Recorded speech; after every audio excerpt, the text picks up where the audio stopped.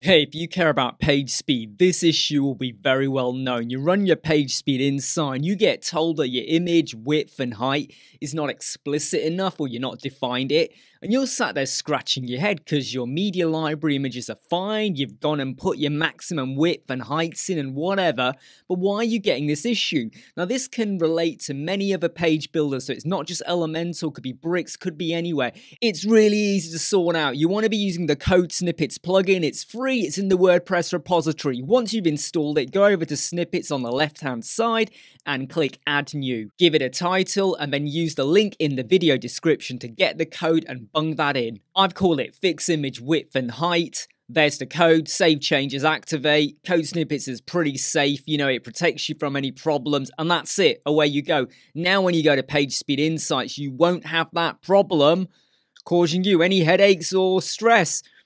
Pretty simple, right? I'm Imran Web Squadron. I hope you like, subscribe, share, and follow. I'll see you soon.